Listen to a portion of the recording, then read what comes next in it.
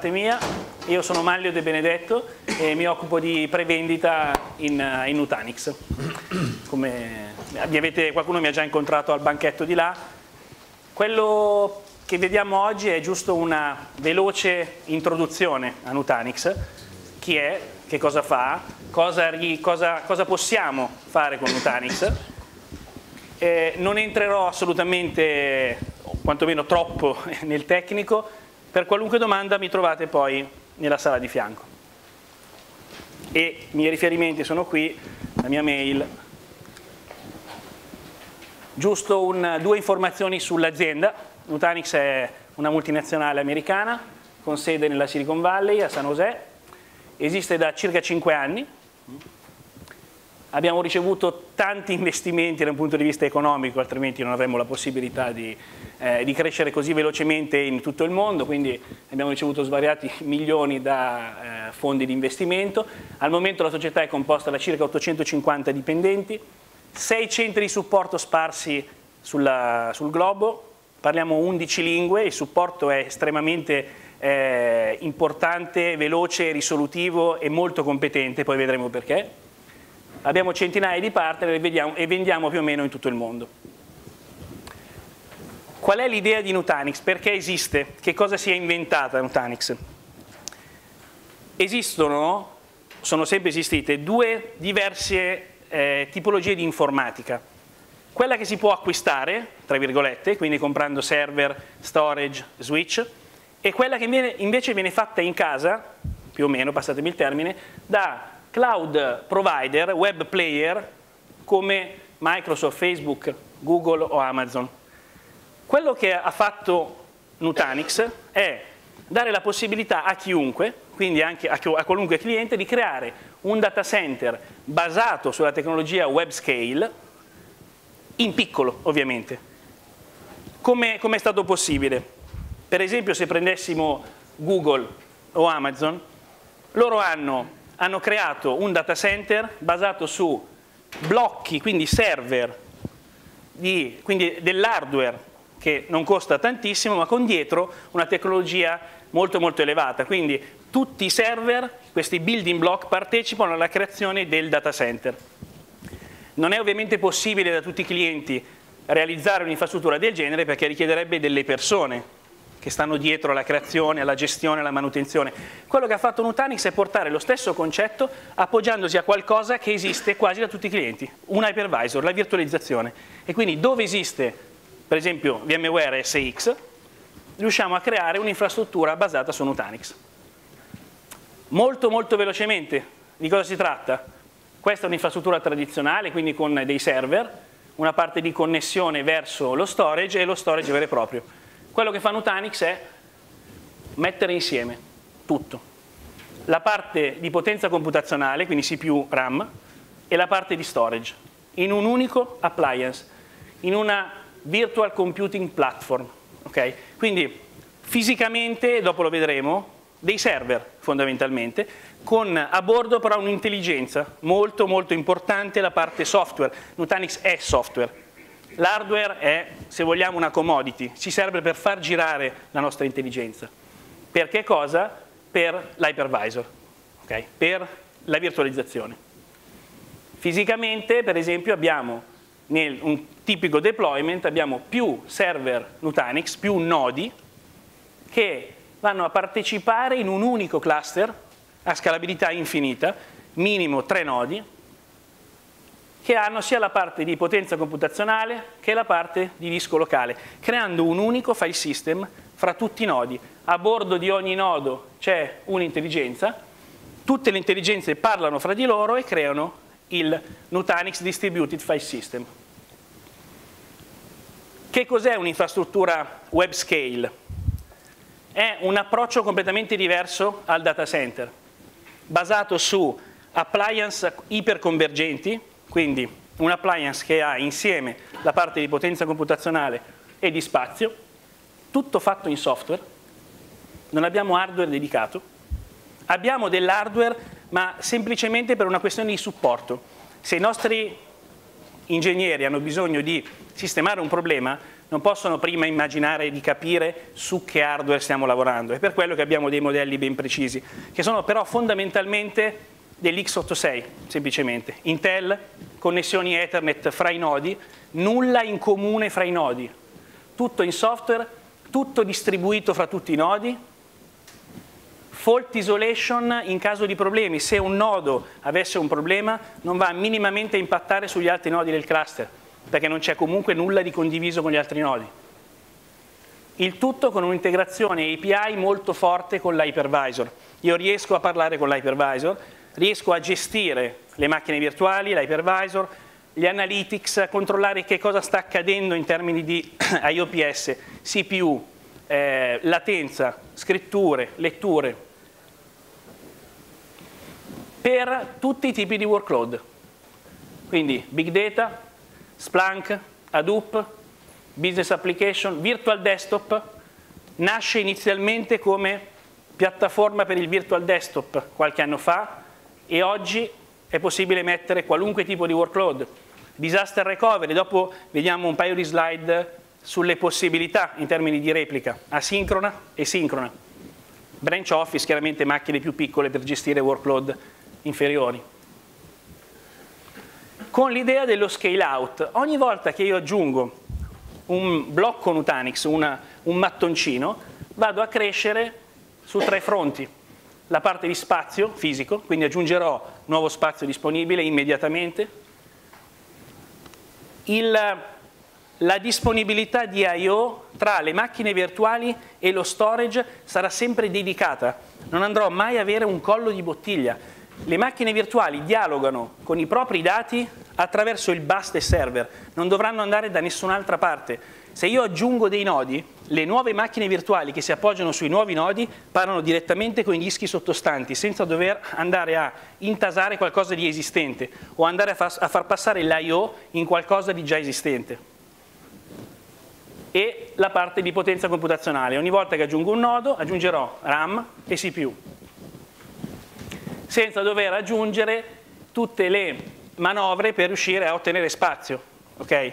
Se avete visto di là eh, c'è un, un, login con scritto no sun semplicemente perché l'architettura creata da Nutanix prevede la creazione di un file system che viene montato su tutti gli hypervisor okay, in NFS, quindi tutti gli hypervisor vedranno lo spazio Nutanix.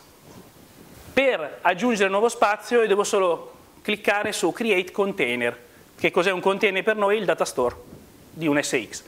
Create container immediatamente viene creato e mappato a tutti gli hypervisor appartenenti al cluster. Semplicità, altro punto fondamentale. Dall'unica interfaccia di gestione che si chiama Prism, io riesco a vedere tantissime cose. Che tipo di ambiente virtuale sto utilizzando? Quindi, in questo caso, nell'esempio SXI, con 5 nodi, 4 in 5.0, e 1 in 5.1, lo spazio fisico, gli IOPS sul cluster, sul singolo hypervisor e sulle macchine virtuali. Posso chiedere dal, dal tasto di, da, di, ricerca quella macchina virtuale guest che cosa sta facendo in termini di IOPS, di latenza, di utilizzo di CPU, di RAM, la parte di alerting e, e la parte di analytics comunque è veramente, veramente potente. Posso andare a chiedere al mio sistema Nutanix cosa è accaduto nell'ultimo mese in, eh, a livello granulare sulla su parte di IOPS, dischi e, e, e ci sono poi tutta una serie di altre possibilità e chiaramente anche quante macchine virtuali, ripeto, l'interazione con l'hypervisor è molto molto forte. Altra cosa importante, l'upgrade. L'upgrade viene fatto modello smartphone, che fa, fa sorridere, ma in realtà è proprio così. Se, ammesso che la macchina sia connessa a internet, addirittura è possibile abilitare il download automatico del, del nuovo sistema operativo, oppure gli si dà in pasto il nuovo sistema operativo, dopodiché si preoccuperà l'interfaccia e il software di aggiornare tutti i nodi all'interno del cluster, senza mai dargli servizio, senza dover spostare nessuna macchina virtuale, nemmeno una vMotion, non devo spostare, rimangono accese perché le ho spostate su un altro nodo, assolutamente no, io aggiornerò i miei hypervisor senza nessun tipo di servizio e senza muovere le macchine virtuali. Questo vale per il sistema operativo Nutanix, ma anche per l'hypervisor, per esempio. C'è un video che gira di, di là da stamattina in loop che fa vedere come si aggiorna l'hypervisor. Nel caso specifico da una 5.5, sono quattro nodi di SX 5.0 che vanno aggiornati in 5.5 e se ne preoccupa direttamente l'interfaccia Nutanix con una maniacalità allucinante sui controlli. Fare un upgrade del genere richiede dei controlli veramente incredibili e non posso permettermi minimamente di sbagliare, okay? perché devo gestire spostamenti, maintenance mode, tutto quanto nella maniera corretta. Quindi aggiornamento del sistema operativo Nutanix, dell'hypervisor, dei firmware, di tutto ciò che riguarda Nutanix e l'hypervisor sovrastante. Come cresce un'infrastruttura Nutanix? Semplicemente aggiungendo nuovi nodi, che si autoannunciano in IPv6 e quindi quando io metto un nuovo nodo, lui si annuncia e io posso espandere il mio cluster a caldo. Quindi andrò ad avere un file system più grande, ridistribuito sul nuovo nodo e nuovi, nuova potenza computazionale. Se fra tre anni decido di togliere un nodo perché è uscito, a breve esce V3 Ashwell, usciranno nuovi nodi, nuovi server con quella tecnologia Intel, andrò a mettere un nuovo nodo e toglierò magari quello vecchio. Di nuovo a caldo le mie macchine virtuali, in quel caso le sposterò, farò una vMotion, toglierò il vecchio nodo e aggiungerò quello nuovo. La mia infrastruttura Nutanix sarà un'entità un che respira, che si gonfia, si sgonfia, quindi posso aggiungere e togliere nodi, ma spostando sempre le mie macchine virtuali che non verranno mai spente.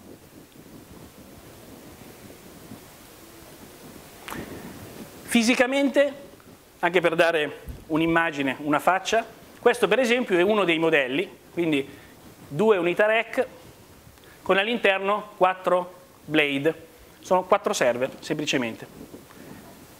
Cosa importante è che comunque, ripetiamo, Nutanix è software, questi sono quattro server semplicemente, con una certa potenza. Immaginiamo la cosa interessante che intanto così riesco a mettere 2 tera di RAM, 16 tera di disco, un piccolo data center.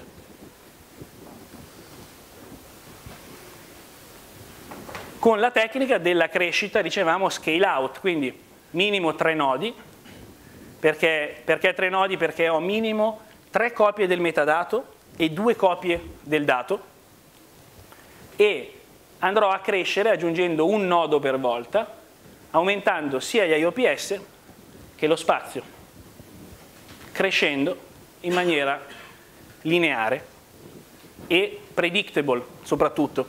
Quindi so esattamente che cosa gira su un nodo con un certo tipo di workload, quando aggiungerò un nuovo nodo so perfettamente che cosa riuscirò a farci girare sopra e anche quanto mi costerà, altra cosa fondamentale. Bisogna sempre fare i conti non solo con la parte tecnica, anche soprattutto a volte con la parte economica. Quindi se devo pensare che cosa investire per l'anno successivo, so quanto mi costa un nodo e soprattutto che cosa riesco a farci girare sopra.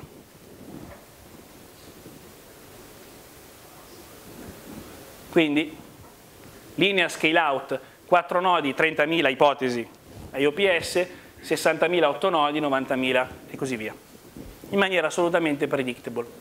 Due slide molto veloci sulla parte un po' più tecnica, ripeto poi sono di là a disposizione. Fisicamente questo è hypervisor, immaginiamo un SX 5.5, questo è Nutanix, una macchina virtuale che è il cervello, questo è Nutanix, il software. Le macchine virtuali, le guest, chiederanno all'hypervisor per depositare i dati, l'hypervisor parlerà con la macchina Nutanix che scriverà fisicamente sui dischi. Tutti i nodi hanno una parte di dischi SSD e una parte SATA e c'è un tearing automatico, uno spostamento costante, sì, uno spostamento costante fra i due tier di dischi a seconda del tipo di workload. Ho bisogno di fare performance e ho richieste sullo, sugli stessi blocchi, si preoccuperà Nutanix di fingerprintare e fare dei duplica in linea sugli SSD per essere molto veloce, cosa che per esempio accelera notevolmente le operazioni di lettura, oppure andrò a bypassare l'SSD e scriverò direttamente sul SATA perché il workload in quel momento richiede questo tipo di operazione. Questo è un nodo, questi sono più nodi, quindi i nodi, ripeto, non hanno nulla di condiviso fra di loro, parlano solo attraverso Ethernet, 10 gigabit.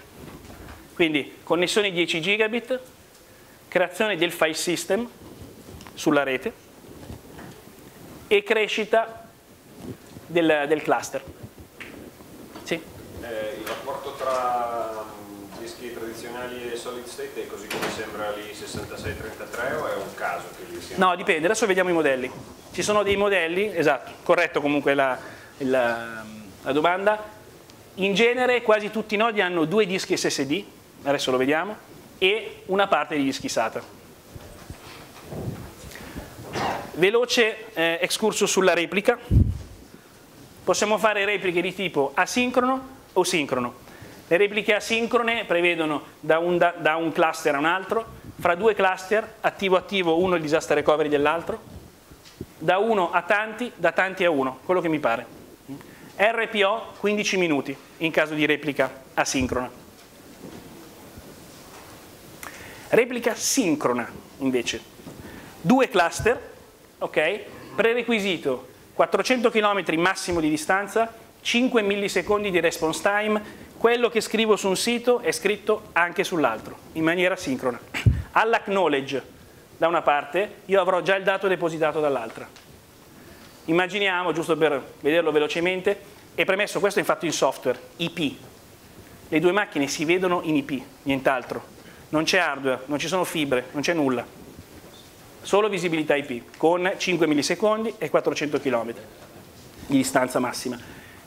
Esempio pratico, qui ho quattro nodi per esempio di un cluster, di qua altri quattro o tre, minimo tre, data store blu da questa parte, data store verde da questa parte. Le macchine blu a regime stanno a sinistra e le macchine verdi a destra. Okay? A ogni scrittura di quelle blu io ho comunque una replica sincrona, quindi acknowledge di qui quando il dato è anche da questa parte e così dall'altra parte. Un unico cluster VMware strecciato fra i due site. Questo mi permette per esempio di fare una vMotion e spegnere completamente un sito. Voglio spegnere questo sito per fare manutenzione, vMotion da questa parte, giro i metadati rendendo attivo il container, quindi data store blu a destra e posso spegnere il primo sito completamente. Lo riaccendo, risync e via. Ed è veramente eccezionale. Oppure, mettendo insieme le due cose, due siti in replica sincrona più una copia in, in asincrono su un ulteriore sito. Questo è quello che mi permette di fare